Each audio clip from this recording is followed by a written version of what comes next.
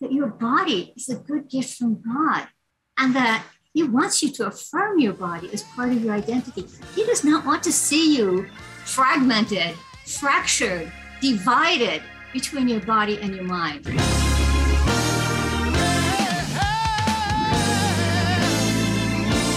Do we live in a cosmos operating by blind material causes? Or a cosmos created by a loving creator, which is therefore intrinsically good. And therefore, I should be treating my body as intrinsically good.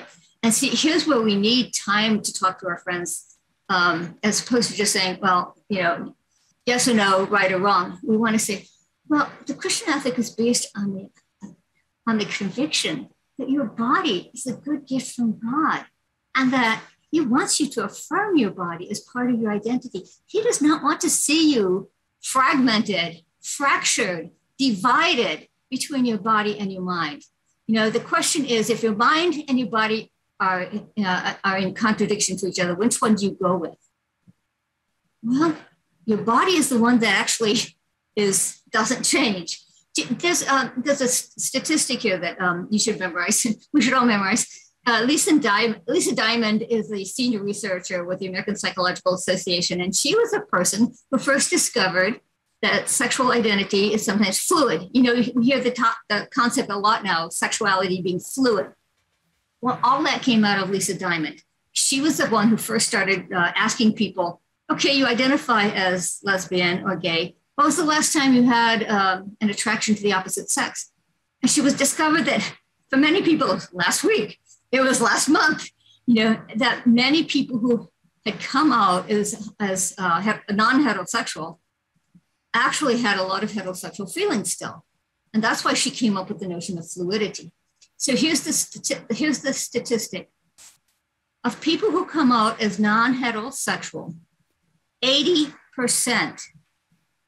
80% change their sexual identity label at least once, at least once, which means sometimes it's more. 80% who come out as non heterosexual change their sexual identity label at least once. What that means is yes, your feelings definitely do change, your body doesn't. But even among non heterosexuals, their feelings do change. And so it is rational to say, well, maybe maybe I should take a second look and think more about well, how, how, does my body form my identity? And should I maybe be giving greater emphasis to my body as something that's good and something that I should value? Um, and, and maybe I should investigate why I feel uncomfortable with my body. Maybe there's some psychological reasons for that.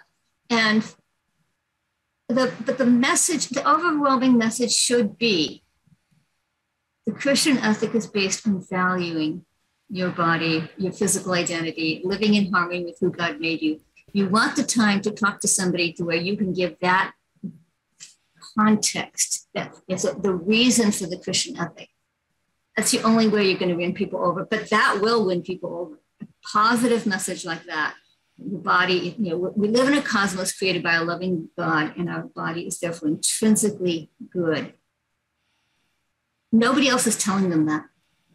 So the Christian view, you know, if we rephrase our language so that it's positive and, and uh, affirming like that, I think then we'll get a hearing in a postmodern world.